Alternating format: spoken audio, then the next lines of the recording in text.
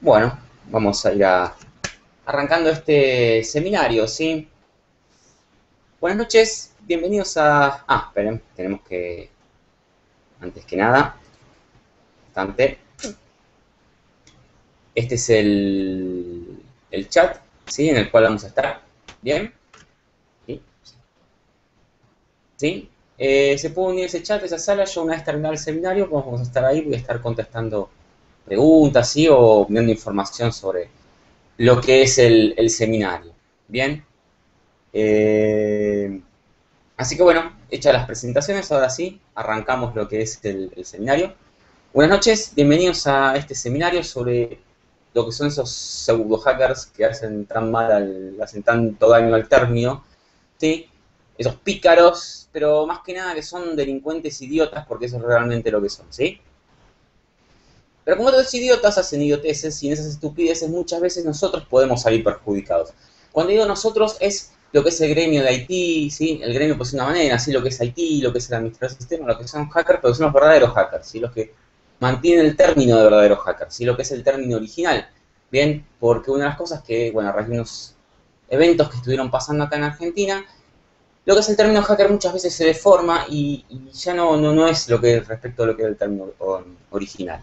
¿Sí? Entonces simplemente hablemos con propiedad, o sea, con propiedad me refiero al término del cual se merecen, que simplemente son gente que molesta, pero en ese afán de molestar no solamente hace daño a quienes están atacando, sino que también van a hacer daño a quienes realmente eh, mm, llevan lo que es el término hacker, o sea, mantienen lo que es el término hacker, ¿sí? Durante este seminario vamos a intentar contestar ¿sí? las típicas exclamaciones más comunes de lo que son las víctimas cuando fueron eh, presas de este tipo de ataques, ¿sí? O sea, mientras preparaba el seminario, la verdad que caí en que, en la cuenta de que muy pocos, muy pocas personas, ¿sí? van a reconocer o reconocen que fueron engañados, ¿sí? Y otros tantos van a seguir negándolos, ¿sí? Con el clásico, no, no, te juro que esta vez no hice nada, te juro que esta vez entré a la página de Facebook que era, te juro que el link que abrí era el link que realmente decía, te juro que el link ese que llegó de las fotos de nunca lo abrí, bueno, ¿sí? La verdad que eh, contra este ensayo final que se, cual se niega a entender eh, de que, bueno, muchas veces fuimos víctimas de un ataque, hoy día yo puedo ser víctima de un ataque, o sea, nadie conoce todas las herramientas, simplemente les quiero mostrar algunas. Típicas Sí, pero bueno, contra este tipo de usuario que es tan negado, sí, a, veces a reconocer que fue atacado, la verdad que no dicen menos que valga, no hay motivo. Pero bueno, por lo menos tal vez viéndolo en un seminario, se da cuenta de que, bueno, hay ciertas, ciertos ataques y ciertas vulnerabilidades. Eh, no son vulnerabilidades en verdad. Sí, esa es una de las cosas de las conclusiones que vamos a hablar durante la clase que viene.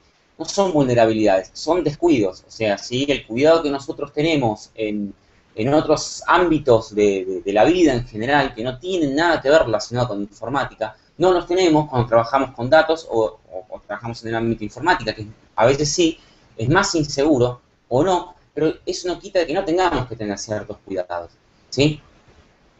Si a mí me llega una, carta o me llega un aviso de mandame dinero, o, y bueno, yo no voy a mandar un aviso que me tiren abajo la puerta de mandame dinero. O sea, la gente a veces se cree que porque lo ve en internet es real, es cierto. Bueno, yo tomé algunos, algunos ejemplos, ¿sí? durante estos dos seminarios, yo tomé algunos ejemplos que son los más clásicos con los que nosotros manejamos la información. Si cuando nosotros manejamos la información, cuando nuestra información queda expuesta, y que no nos damos cuenta, ¿sí? A ver, usar antivirus, usar anti-spam, no abran ejecutables, bueno, eso es como que ya, ya hay cierta, cierta educación con el usuario final. El usuario final después no haga caso es otro tema, o que después termine negándolo es otro tema. Pero con otros puntos que también son igual de, vulnerables, igual de peligrosos, veo que no, no, no hubo tanta, tanta educación o no están tan expuestos, ¿sí? Lo que son las diferentes vulnerabilidades o los diferentes tipos de ataques, ¿sí? Entonces, durante este seminario vamos a ver las distintas exclamaciones, ¿sí? Las distintas eh, gestos, no gestos, sino, sí, exclamaciones que hace la gente con cómo pudiste o, o cómo me pasó tal cosa o cómo llegaron a hacerse con tal información. Que tal vez, repito, no están, o sea, realmente no, ejecutan ciertos archivos ejecutables, pero hay otros puntos con el avenimiento de la nube, de las redes sociales, que se dejaron de tener en cuenta. ¿sí? Y eso es lo que vamos a apuntar ahora. ¿Bien? Y vamos a ver cómo es simple, cómo estos pseudo hackers, pícaros, idiotas, ¿sí? que yo digo, vamos a ver cómo pueden eh, hacerse con eso sin, directamente, sin ningún conocimiento tecnológico, ¿sí? sino simplemente con, con ganas de molestar al profe. ¿Sí? Bien, entonces nuestro... Ahí en el chat se confirma bien si se va... Si se va escuchando bien, ¿sí? Bueno, nuestro, nuestro primer ejemplo es con respecto a Dropbox, ¿sí?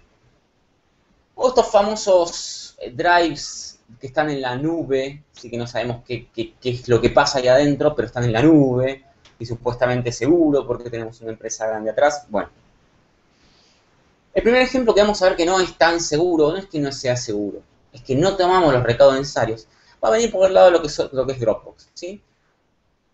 Realmente un, caso que me sucedió y este fue, y este es cierto, ¿sí? Es una exclamación que fue, no, yo en mi máquina no guardo las cosas, ¿sí? Porque esos hackers malignos eh, pueden venir y robarme la información, yo la subo en la nube porque la nube, la, bueno, vamos a ver realmente qué pasa cuando subimos con esos datos en la nube, ¿sí? También hay otra, otra, otra verdad, por decirlo, verdad, entre comillas, que es, y me ha pasado en una empresa, es que es mucho más cómodo guardarlo en Dropbox que en mi disco de red de la empresa, ¿sí? Porque si yo lo guardo en Dropbox, va a estar accesible, más fácil, lo puedo hacer desde cualquier lado. Bueno, resulta que si vos lo guardás en Dropbox, vos no sabés qué es lo que hace Dropbox atrás con esa información. Es una caja negra, es una nube. Y yo no sé qué hace Dropbox atrás, no sé qué seguridad toma Dropbox desde un punto de vista personal, y esto es una opinión personal, esa información tan crítica, guardarla dentro de la empresa. Yo sé la vulnerabilidad de mi empresa, sé por dónde me pueden atacar, sé por dónde cuidarlo, y lo puedo aislar completamente. ¿Sí? Pero bueno, muchas veces la comodidad, y me incluyo, nos lleva a dar eh, por tierra a lo que es la seguridad. ¿Sí?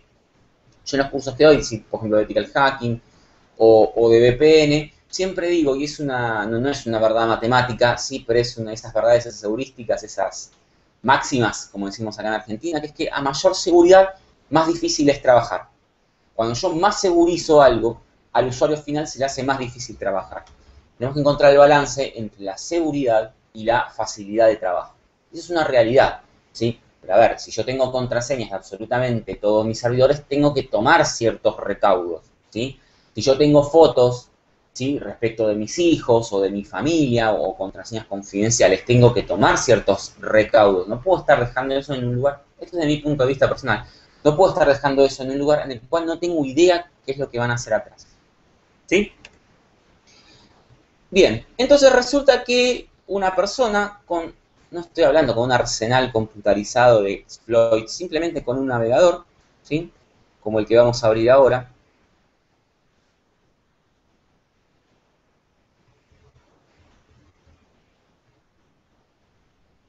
Esperen que maximizo.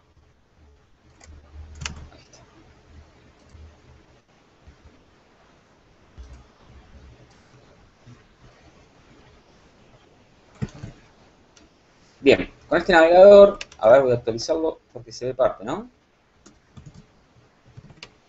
A ver, voy a guardarlo. vamos a abrir otra.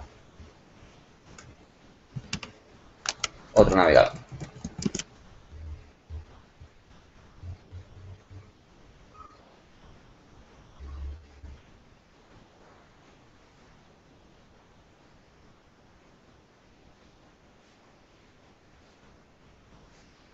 Bien, para quienes estén sumando ahora, pueden ingresar al chat que se encuentra ahí en pantalla, ¿sí? Y ahí vamos a estar trabajando, vamos a estar respondiendo preguntas y una vez finalizado el seminario. Igual, si quieren ir colocando preguntas, este, no hay ningún problema, ¿sí? Correcto, May Martín puso son lammers o script kiddies. Sí, esa, esa diferenciación la vamos, se ve durante, durante el primer durante la primera clase sí de ética del hacking que vine de la academia, yo particularmente lo llamo idiotas, pero bueno, eh, no sé si va a estar muy contenta la academia con que los llame así, pero bueno. Sí, es correcto, Martín. Son, son lammers. Son, básicamente son gente que nos hacen quedar mal, que no generan ningún valor agregado, ¿sí? y que lo único que hacen es agarrar las cosas y hacer doble clic, y generalmente en esos doble clic que van haciendo terminan comprometiendo su propia máquina y, les termina saliendo el tiro por la culata. ¿Sí? Esos son tal cual, son los que en la jerga se los conoce como, como lammers, ¿sí? Son gente que no genera absolutamente ningún, ningún valor agregado. Bueno, como les comentaba, fíjense que yo abrí un navegador, ¿sí? Bien, lo primero que vamos a explicar es que, para ponerlo de manera simple, existe un archivo llamado robots.txt. Este archivo robots.txt le dice a los, a, los, a los buscadores, particularmente a Google, que lo que queremos que no se indexe. ¿Sí? O sea, yo le digo a Google, oíme Google, todos estos archivos que están adentro de este robots.txt, no quiero que aparezcan en tus links. Entonces Google dice, ok, listo, no los pongo. ¿Sí? Para que se den una idea, el archivo al que, al que me refiero, saben que cuando minimizo, veo, ahí está. El archivo ¿sí? al que me estoy refiriendo es este que se encuentra aquí. Bien, entonces, dentro de Dropbox, ¿sí? existe este archivo eh, robots.txt y se me está yendo. Ahí. Les comentaba, Dentro de Dropbox sí existe este archivo, ¿bien? Que se llama robots.txt, que lo que hace es decirle a, em, a Google, ok, esto que está aquí, no quiero que lo indexes, ¿sí? No quiero que esté indexado en tus, em, en tus enlaces, ¿sí? En tus links. ¿Bien? Ahora, yo hago el siguiente razonamiento. ¿Sí? Yo hago el siguiente razonamiento. Si Google, perdón, si Dropbox no quiere que esta información esté indexada por Google, es porque algo debe tener. ¿No? Hay algo interesante. Bien, sigamos adelante. Mm, interesante. ¿Sí? La cantidad, o sea, los directorios que hay, ¿no? Bueno, ahora vamos a buscar en toda la web de de Dropbox para los mismos directorios, ¿sí? que aunque los directorios estén denegados por su indexación, sí los van a estar en la URL y en los títulos de la URL. ¿A qué me refiero con esto? Y ojo porque esto a veces parece recovecos legales, ¿sí? Porque es un detalle. Estos directorios no van a estar indexados en Dropbox.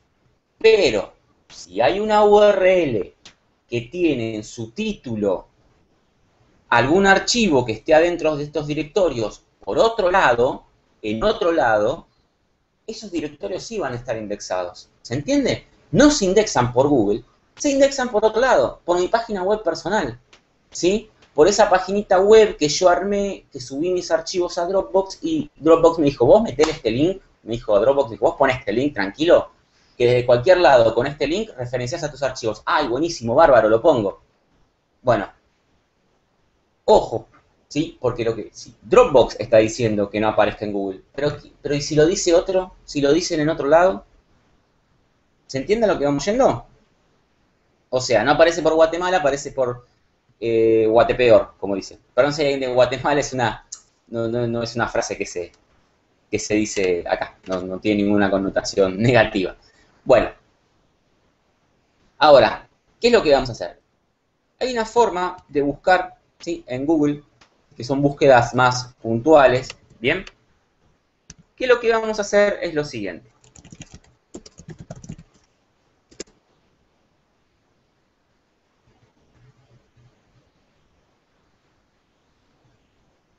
Bien. Vamos a realizar la siguiente búsqueda. ¿Sí? ¿Se ve la, la pantalla entera?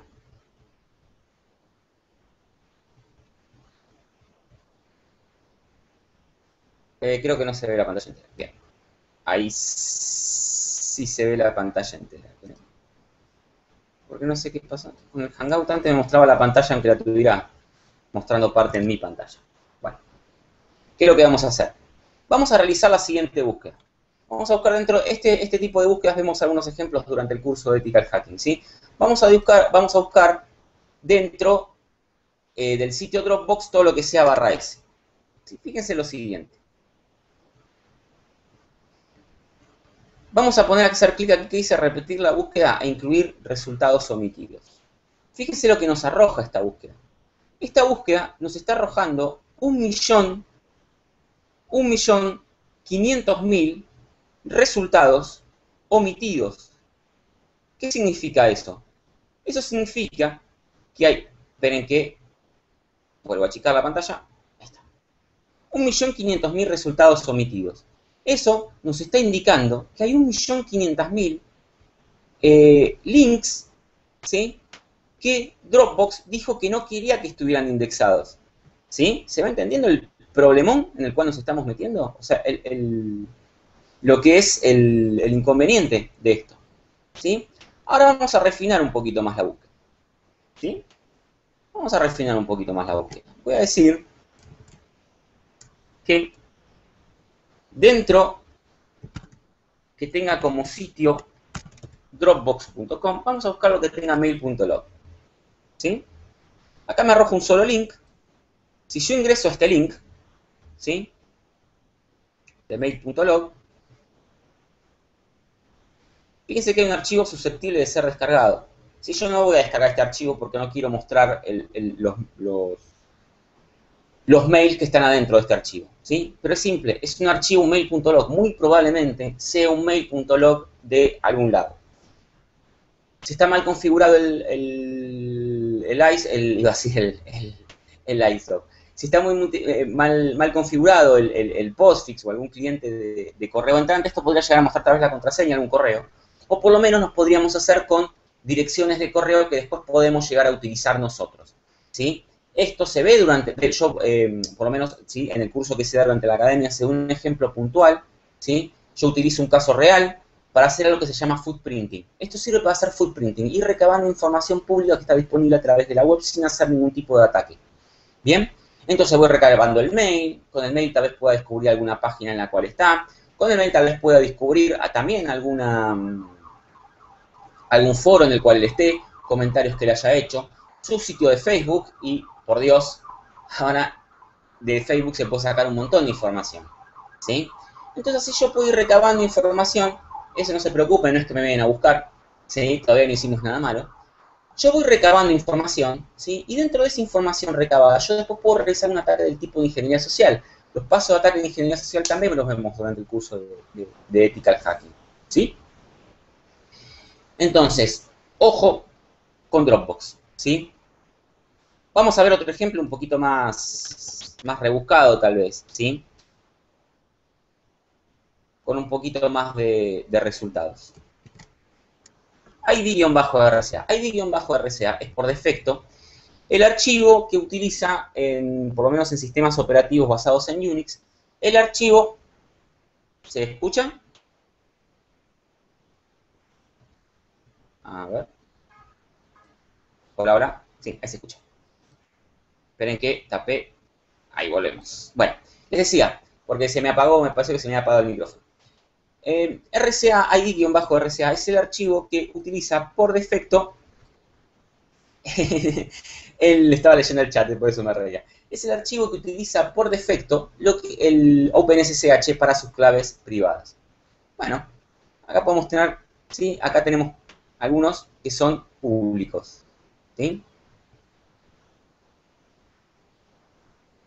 ¿Quién sabe? Tal vez aquí dentro podría haber algún archivo también, el, el ID bajo, bajo RCA, el privado. ¿Sí? Podemos llegar a ver acá y ver de qué sitio, de a qué sitio pertenece. De ahí podríamos sacar, tal vez sacar la, dirección de mail del, del administrador de red.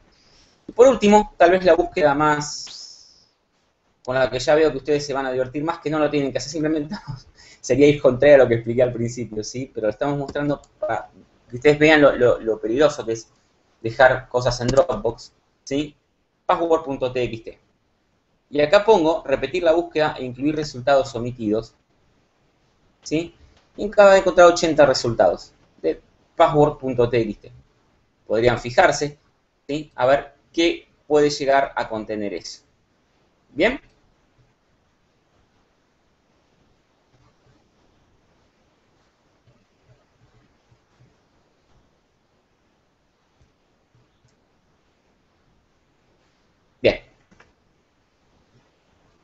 Sí, al final me gustaría dar, al final de, la clase voy a dar una, referencia donde saqué la, mayoría del, material, ¿sí? Es una persona que se llama eh, Chema Alonso, es un, hacker, hacker de verdad, así, de los que hacen bien el término hacker eh, español. Eh, muy graciosas sus conferencias, ¿sí? Muy entretenidas y muy didácticas, también se se, aprende de verdad, más allá de ser entretenidas. Les voy a pasar el link, ¿sí? del blog de él me parece importante que, que, se saque mucha información de ahí, particularmente de ese sitio, esté mm, disponible para, para que ustedes la bajen. Bien. Entonces, acá acabamos de ver gente que subió archivos a Dropbox y cómo a raíz de la simple pregunta decir, ah, pará, si Dropbox quiere que esto no lo indexe, quiere decir que hay información. Bueno, yo lo busqué en la carpeta barra S, como podrán ver hay varias carpetas, y yo busqué archivos de password y de texto. Se puede buscar de todo, se puede buscar fotos, ¿sí? Eh, una de las cosas que decidimos sí, con la academia durante fue, yo al principio, cuando se publicó, pusimos fotos.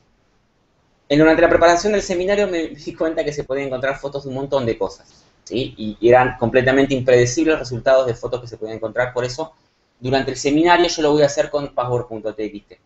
¿Sí? Existen fotos, si ustedes en lugar de poner eso, le ponen JPG, saben los JPG, si le ponen DCIM, es la carpeta típica de los celulares de Android cuando sacan fotos. Van a salir un batallón de fotos en DCIM, ¿sí? Y entre esas fotos son, pueden ser fotos muy personales, ¿bien? Esa fue la idea principal por la cual no lo quise hacer con fotos durante el seminario, ¿sí? A pesar de haberse publicado con fotos, ¿sí? Bien. Primer punto es, uh, bueno, listo, yo subí toda la nube, listo, subí mis fotos a la nube, bla, bla, bla. Bueno, acá tienen la nube, ¿sí? No sabemos lo que hace atrás, no sabemos qué es lo que dice, no sabemos cómo nos protege. ¿Bien? Vamos a ir al segundo caso. El segundo caso, que es que yo no tuiteé eso. No, si yo no lo tuiteé, si yo no tengo Twitter. ¿Sí? Y después, esto es, yo cuando lo pensé este caso me gustó porque es algo a la inversa.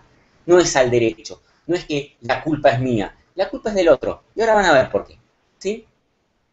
El yo no tuiteé eso, yo lo bautizo como la maldición del periodista de las redes sociales, ¿sí? que es, saca toda la información de las redes sociales sin siquiera chequear si ese Twitter es real. Ustedes pueden eh, tuitear, chequear si ese Twitter es, verdadero, entre otras cosas, porque tiene una tilde azul. Ustedes van a ver que hay muchos contactos que tienen una tilde, un círculo azul con una tilde blanca, eso es que está chequeada la identidad de la persona. ¿Bien? Ojo con eso, primer punto. Entonces, hay muchos periodistas que ni siquiera se, se molestan en chequear eso, ¿sí? O también como es el famoso, lo leí en internet, el día que que en internet las vacas vuelan, nosotros a poner granjas en el cielo. O sea, eh, hay que chequear las cosas, ¿sí? O sea, internet no deja de ser tanto como un papel. Yo pego un papel en la pared con algo y bueno, gente, ¿de dónde salió eso? Sí, Twitter es lo mismo, ¿sí? Twitter es lo mismo, ¿entiende? Entonces tengamos mucho cuidado con eso. ¿Y por qué lo digo a la inversa? Porque ahora van a ver. Déjenme mostrarles el ejemplo y van a entender por qué está, acá le digo a la, a la, a la inversa, ¿sí? Porque, a ver, uno puede creer todo lo que hay en Internet, ¿sí? Y el problema es que, ese, que uno cree todo lo que hay en Internet, ¿sí? Y el tema es que como hay mucha gente que se lo cree, lo termina transformando en cierto. Miente, miente, que algo quedará, ¿sí? Entonces, vamos a volver a nuestro... A ver, como verán, yo acá no voy a usar... Eh, recién en la clase que viene, en el, seminario que viene, el miércoles, voy a, a, quiero usar un poquitito de, lo que es em, un conocimiento informático arriba del promedio. ¿Sí?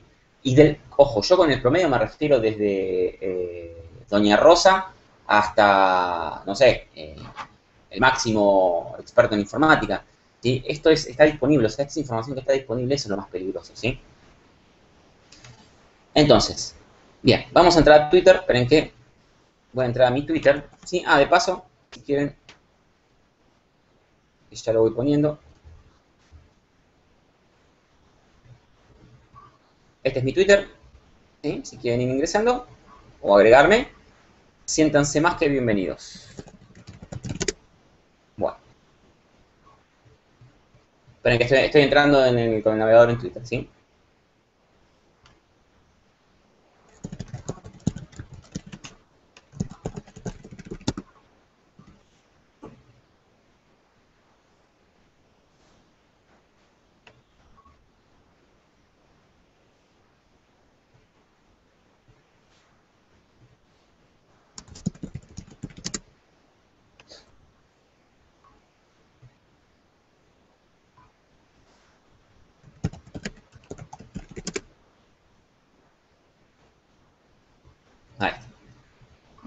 Vamos a abrir.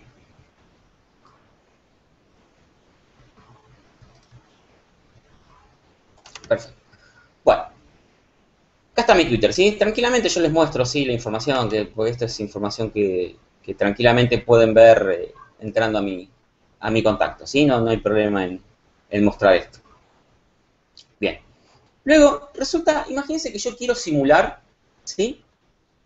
Que quiero poner información falsa de, no sé, quiero decir que el Papa Francisco eh, promueve el uso de Linux. Vamos a entrar a una página, ¿sí?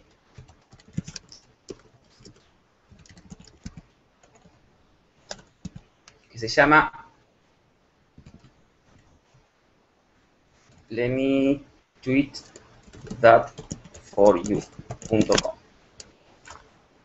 ¿Sí? Vamos a ingresar a, esta página. Bajamos, bajamos, a ver. Ahí está. Resulta que el Twitter del Papa, ¿sí? del Papa Francisco, vamos a ponerle pontifex-es, porque es el que es español, ¿sí? Bueno, vamos a ponerle que esto tiene 1245 red, no, más, 0, ¿sí? Eh, 12.000, no. 124.505 retweets y que 666 personas lo pusieron como favoritos. Bueno, bueno. Vamos a poner que dijo Habemos Linux, Habemos Linux.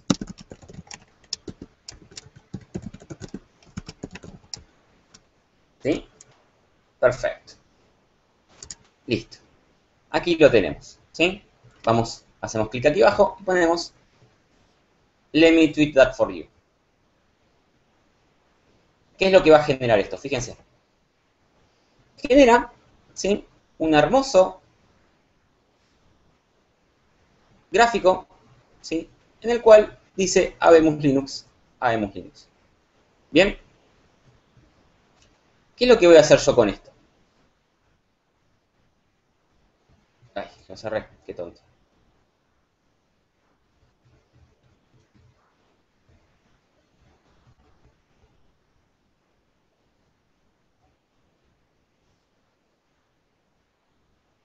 Ahí está. Bueno. Yo lo que voy a hacer, lo primero que voy a hacer es guardar la imagen. ¿Sí? Vamos a guardar la imagen. ¿Sí? Lo guardo dentro de mi, TMP como Habemus Linux, ¿sí? Eso no lo están viendo, pero yo lo estoy guardando, ¿sí? Bueno, ahí acabo de guardar, ¿sí?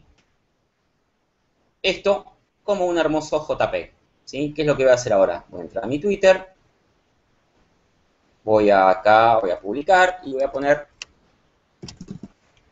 el Papa promueve el uso de Linux. ¿Y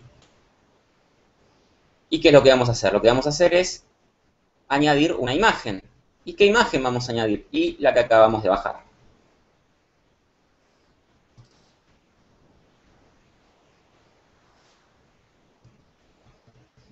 Lo tuiteo.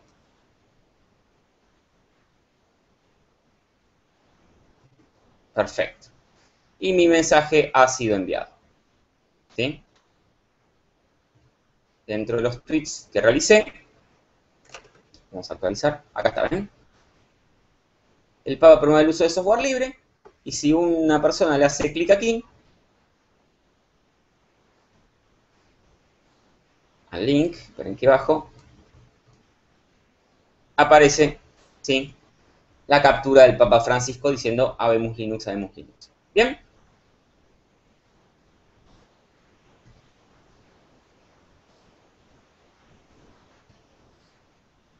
Parece tonto, ¿no? Parece muy, muy tonto ahora que lo ven, ¿no? Decir, ah, bueno, pero ¿quién va a pensar en una...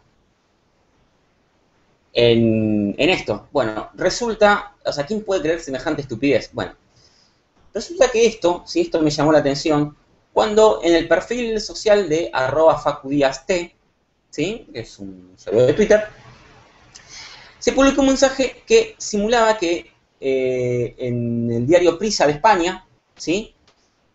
decían que el rey había muerto. Eh, no que el rey había muerto, ¿sí? que estaba dando un golpe de Estado en Portugal. ¿sí? Créanme que esto fue cierto, ¿sí? y se creyó, se lo creyeron. Esto se empezó a viralizar, y esto, a esto yo me refería cuando es un timo pero al revés, es un engaño pero al revés. Cuando esto se empezó a viralizar, cuando este, este engaño se empezó a viralizar, ya en un momento nadie se puso a pensar si era cierto. Iban todos como corditos, ganaditos, ¿sí? como los caballos con unas orejeras, tu, tu, y ninguno se ponía a preguntar si era verdad o era mentira. Y ese es el problema principal. ¿sí? Por eso digo que es al revés. El engaño no viene de quien lo hace, porque quien lo hace no está accediendo a ninguna información confidencial, sino que el entorno es el que lo hace cierto. ¿sí? Yo al principio dije que son idiotas y que esas idioteces pueden generar daño. Daño tanto a, lo que es el ambiente de tecnología, al término real hacker, como al término, perdón, como a la persona que están, le están haciendo daño. Bueno, esto es así. Este es un ejemplo de lo segundo. Yo genero daño porque se empieza a generar una pelota tal que la gente se termina creyendo sí, que es cierto, es cierto, o sea, es cierto, resulta que es cierto, resulta que el Papa, como lo de en Twitter, y mirá, está la imagen, y van a retuitear esta imagen. Y nadie se pregunta si es cierto, ¿sí? Si, ninguno va a entrar a arroba pontifex y se va a fijar si realmente fue eso lo que dijo. ¿Sí? Pero bueno, yo qué sé, para hacer un chiste, eh, por lo menos entre nosotros, entre amigos, está, es divertido. Eso es válido, se los, se los permito, ¿sí? Eh, ahí está. ¿Sí? ¿Se, ¿Se, llevó a ver todo? ¿Se llevó a ver el, ¿Se entendió? Ah, bueno, ahora me lo van a poner ahí en el, en el chat si, si se llegó a ver bien, ¿sí? Ahí les paso el, el Twitter mío. Justo estaba leyendo un poquito del, del chat, ¿sí?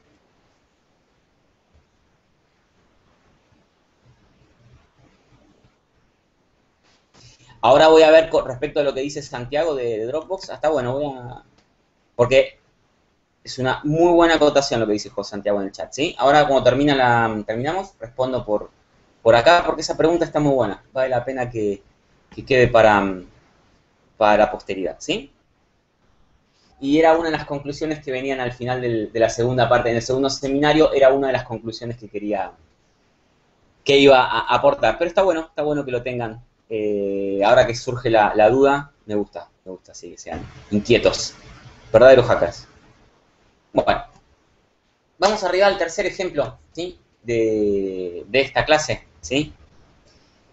¿Qué son los mensajitos en Skype? A ver, bueno, llegó el día de llevar a la máquina, de llevar la máquina al, al técnico, ¿sí? Porque resulta que anda muy lento, anda lento, anda lento, o sea, la máquina tiene 10.000 iconos abiertos, un millón de animaciones y Bart, el, icono que se transforma en Bart Simpson andando en patineta, ¿sí? pero le anda lento y supuestamente nunca le hicieron doble clic a nada. ¿sí? Parece como en IT Crowd decían, parece la máquina del exorcista más que otra cosa. Bueno, llegó el momento, lo andan muy lentos. Ajá, pero decimos, vamos a hacer una cosa. Voy a agarrar en el Skype y voy a poner cerrar sesión. ¿sí? Voy a cerrar la sesión del Skype voy a hacer que se olvide mi contraseña porque cuando se la deje al técnico no quiero que vea los chats que estuve hablando con mis amigos. Bárbaro, perfecto. Nadie va a poder hacerse con mi información, con mi información de Skype. Bueno, resulta que Skype guarda las conversaciones en un archivito que se llama main.db. Ahí se los escribo en el chat. Depende de la versión del sistema operativo, es depende de dónde lo esté guardando, ¿sí? En este caso en particular se lo voy a mostrar con Linux, ¿sí? Más que nada para que vean que no solamente, o sea, este tipo de cosas no estamos susceptibles a Windows, no, no depende del sistema operativo, depende del, del del idiota, ¿sí? Entonces, vamos a ver eh, este ejemplo en, en, en Linux, ¿sí? Yo me bajé un programita ¿sí? que se llama SQLite, SQLite Man, ¿sí? que es un archivo para ver, un programita, perdón, para ver bases de datos del tipo SQLite. Es SQLite. Esperen que achico la ventana para que se entre.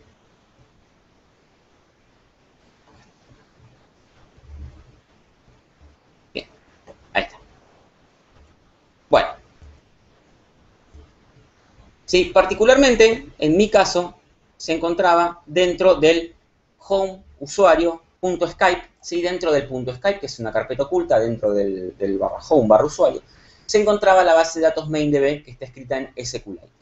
Esta base de datos MainDB que se encuentra escrita en SQLite tiene un montón de tablas. Entre estas tablas, hay una muy interesante que se llama Conversations. Vamos a hacerle doble clic. Dentro de esta tabla Conversations, que se encuentra aquí, déjenme ver que se vea bien. Dentro de esta Conversations hay conversaciones ¿sí? de gente que en este momento está en el chat y que tenía, sí, mientras hablaba con ellos. Vamos a ir para adelante. Bien.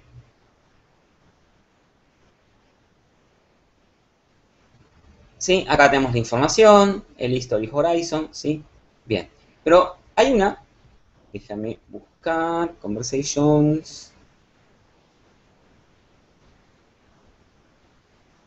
Bueno, Contacts, se imaginarán lo que tiene, ¿no?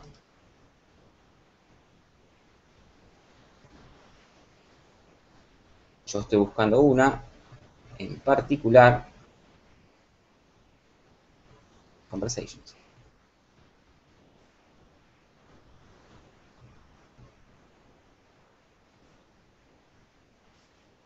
Hay una en particular que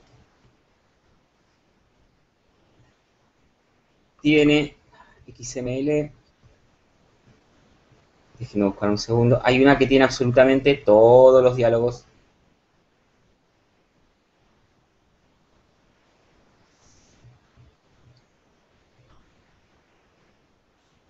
absolutamente todos los diálogos que se tuvo con esa persona.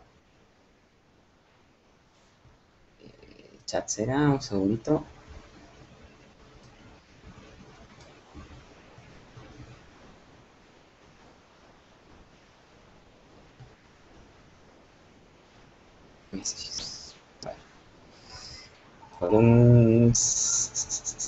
Acá está, body XML. Bueno, dentro de aquí, ¿sí? Acá, vamos a hacerlo más fácil.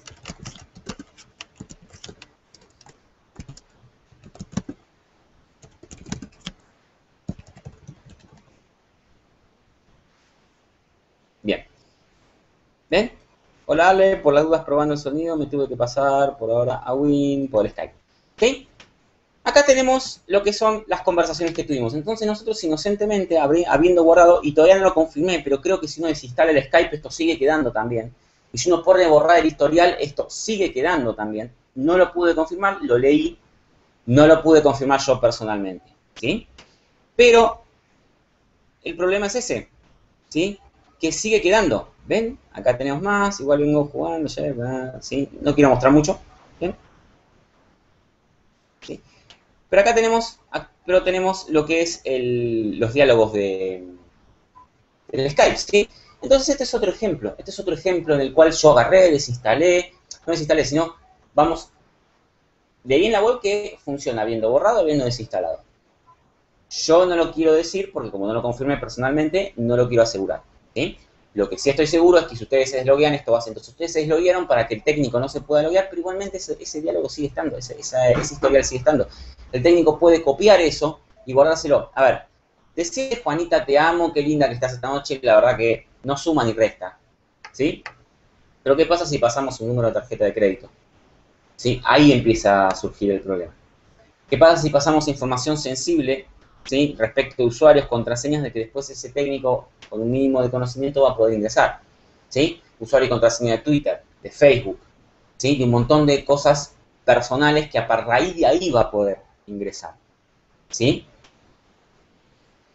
El seminario que viene, el miércoles, sí, nos queda todavía, no se vayan, nos queda un tema más para ver todavía. El miércoles vamos a ver eh, respecto de ese tipo de, engaños, ¿sí? Chat roulette y esas cosas de webcams y, chantajes posteriores. Pero bueno, como les comentaba, ustedes pueden ver acá que a pesar de haberse, haberse mm, deslogueado del Skype, a pesar de haber desconectado el Skype, em, sacando, haberle sacado el usuario y la, y la contraseña, ¿sí? igual siguen teniendo problemas. Una, una, acabo de una, una pregunta, ¿sí? Bien, que muy buena, que es, eh, bueno, ahí se las contestaron en el chat, si no están encriptados. No, no están encriptados. No están encriptados. Están en SQLite, que es un formato de, como está SQL, sí, como, está, como, uno, como uno guarda en SQL, como uno guarda en, en... A ver, SQL es un lenguaje de query de base de datos. SQLite es uno de los formatos que tiene, es un conjunto. ¿sí? Lo bueno que tiene es que es más liviano que MySQL y que otros, otros bases de datos. Entonces, por eso es que se utiliza para este tipo de cosas. Pero no, no tiene, no tiene para nada. ¿Sí? Gracias, José, por someterte voluntariamente a, a mostrar, a que figures en el, en el, en el Skype. Igual no te preocupes, José, que no, no, no, no se ve la máquina arreglar todavía, así que no, no hay problema. Eh, así que no, no, no está para nada encriptado, se puede copiar exactamente.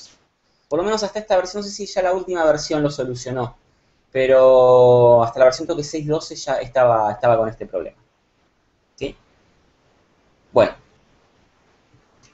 ¿Sí? Así que tengamos cuidado con eso, tengamos cuidado, averiguemos por lo menos dónde se guardan las cosas, seamos prudentes con, con el historial de, de nuestros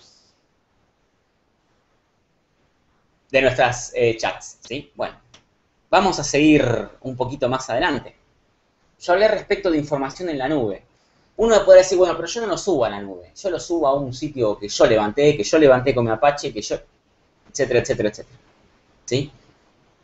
Entonces, yo les voy a explicar, o yo les voy a decir que la búsqueda en la nube es un caso particular de búsqueda, de, o sea, la búsqueda de información en la nube es un caso particular de Alguno le dice hacking de búsqueda de Google. Bueno, hacking tomándolo así, bueno, en el propio término, como empezar a manipular un poco las cosas para que no hagan para lo que fueron destinadas, ¿sí?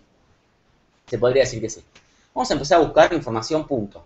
Información interesante. Esto también se ve como uno de los, uno de los pasos iniciales de footprinting durante el curso de, de ethical hacking, ¿sí? Entonces, como le dije, subimos la foto a nuestra página personal que instalamos nosotros, en una Apache que instalamos nosotros, que levantamos nosotros, etcétera, etcétera, etcétera. ¿sí?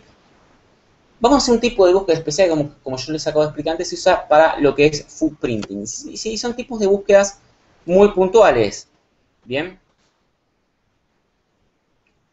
Vamos, a entrar a Google en el navegador y ahí seguimos.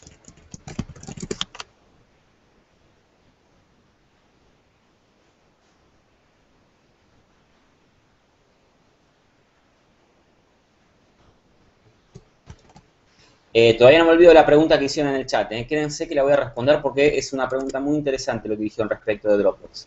¿Sí? Bien. Ahora yo voy a buscar que las páginas que dice IndexOf. ¿Sí? Ustedes dirán, eh, o pensarán, bueno, IndexOf. Bueno, IndexOf, para los que no conozcan, o eso se ve durante, también durante el curso de Ethical Hacking y durante el curso de redes eh, Linux. Cuando uno configura un Apache y no le saca la opción de que no indexe los sitios, los archivos de esa carpeta, si uno entra en la carpeta va a ver todos los archivos. ¿sí? Entonces, el encabezado, ¿sí? o el título de la página particularmente dice index of. Entonces yo voy a estar buscando todas las páginas que, a las cuales no se le sacó el indexado de los archivos por lo tanto, ustedes se habrán topado alguna vez con una página de este tipo. Esperen, index of, acá está. Con alguna página de este estilo, que si, si no les comparto la pantalla nunca la van a ver, ¿no? Ahí se las comparto, se las comparto. Ahí. Con una página de este estilo. ¿Bien? Eh, esto es una página que para mí está mal configurada. ¿Por qué está mal configurada? Porque está indexando archivos. Yo quiero que se indexen los archivos. nadie tiene por qué venir a ver los archivos planos y puros así como están. Uno accede a estos archivos a través de, miren, access.log, accounts.txt, administrator.pwd.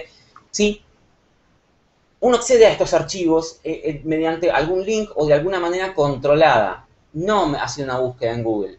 ¿sí? Si yo pongo index of barra y password.txt, indexof de SIM, pude empezar a buscar carpetas de SIM y les repito, la carpeta de SIM a las que tenían las fotos, en, por lo menos en los pasados en Android, los guarda en carpeta de SIM.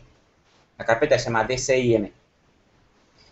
Esto es peligroso, esto también se ve durante como etapa del footprinting en ethical hacking. Esto es muy peligroso, ¿sí? Porque está indexando archivos que yo no sé que van a estar disponibles. Ustedes pensarán, epa, lo hiciste para password, ¿sí? Vos en la, en la promoción dijiste que era para fotos. Bueno, eh, sí, y es lo que había explicado antes, ¿sí? Las fotos dan resultados completamente impredecibles. Y la verdad que yo también lo pensé y decir, bueno, resulta que de repente una foto de alguien que tal vez no sepa que publicó esa foto, que esa foto está publicada, y de repente que quede expuesta en un seminario, no, no está bueno. ¿Sí? Lamentablemente esta es información que está, esto es footprinting, y es información que está disponible dentro de la, web. ¿sí? Si ustedes ponen JPG acá, bueno, van a poner index of y, que, y todos los archivos JPG. ¿sí? JPG que van a ver que van a estar listados en el estilo que se los mostró anteriormente. Bien, si, ustedes hacen un index of barra, y como por ejemplo vimos en el, en el curso, hacen bash history, van a estar encontrando todos los bash history de algún lugar que esté indexado. De esa manera todos los comandos que ejecutó la persona y de esa manera pueden llegar a encontrar algún, bueno, ven acá, algún, algo interesante. ¿Sí? Entonces, mucho cuidado cuando suben los archivos, a dónde los están subiendo. Esto no es tanto más que nada por si ustedes prepararon la página. Esto es más que nada cuando no lo están subiendo a la nube, si están, sino que lo están subiendo a Instagram o, algún otro sitio o algún otro lado medio raro que no saben muy bien qué, pasa con sus, imágenes después. ¿Sí?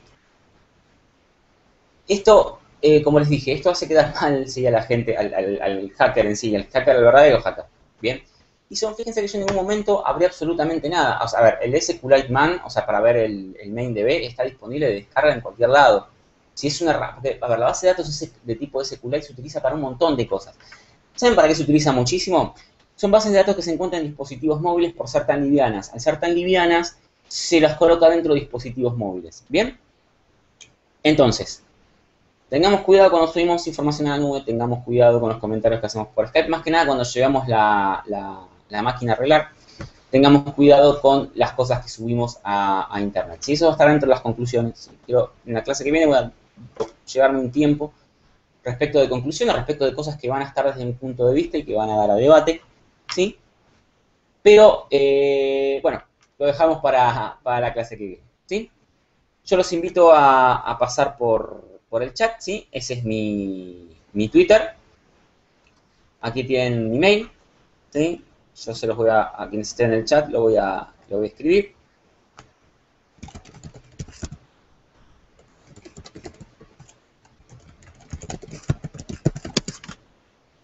Bien, ese es el, el, mail mío. Cualquier cosa que me quieran mandar, pregunta, lo que sea, respecto a cursos o respecto al seminario que di o lo que ustedes prefieran, no hay problema. Yo les voy a contestar. Lo peor que les puedo decir es no sé. No tengo ningún problema en decir no sé, eso se los aseguro. ¿Sí? Así que bueno, sean bienvenidos a agregarme al, Twitter, ¿sí? Ahí lo tienen. Y también sean bienvenidos a ingresar ahora sí a la sala de chat donde voy a estar contestando las preguntas. Una de las cosas que habían dicho durante Dropbox era que em, técnicamente los archivos privados no deberían tener URL. ¿Sí? Es cierto, Santiago, los archivos privados no tienen URL. Si yo me tomo el trabajo de buscar en la configuración que esos archivos sean privados y no sean accesibles, no los vas a poder acceder. De hecho, si, si empezás a jugar con esta búsqueda, a esto voy a todos, ¿eh? si empiezan a jugar con esta búsqueda, van a ver que de repente van a entrar a lugares que dice 404, como que no existe la URL. Eso es o porque los borraron o porque los pusieron como privados. ¿sí? O como que el contenido no está accesible, les va a decir también. Eso es porque justamente se dieron cuenta de ponerlos en privado. Bien, si lo ponen en privado, no van a estar accesibles. Eso toma un trabajo, a ver, no, es por pero toma cierta responsabilidad de la persona que lo sube. Y el usuario promedio no tiene esa responsabilidad. ¿Sí? No la tiene. Eso es lo peligroso. ¿Bien? Pero es cierto, si ustedes, para todos, si ustedes se toman el trabajo de encriptar ciertas cosas, si ustedes se toman el trabajo de ver el historial, cómo, el historial de, ¿cómo se dice? El history de, del Skype, cómo se guarda, no es si se toman, se tienen que tomar ese trabajo. por lo menos cuando van a, dejar algo a una persona que no saben lo que va a hacer. ¿Qué pasa cuando se sube a la nube? Si esa persona realmente lo que tuiteó es cierto. Estoy entrando realmente a Twitter. O sea, ¿Se entiende? Ese tipo de cosas hay que tomarse el trabajo. Es bueno lo que dijo Santiago, porque esas, eh, esos lugares no tendrían que estar disponibles. Pero bueno, uno los tiene que poner como no disponibles. Y no todo el mundo lo pone. Todo el mundo se cree que usuario y contraseña, listo, eso ya no está más disponible.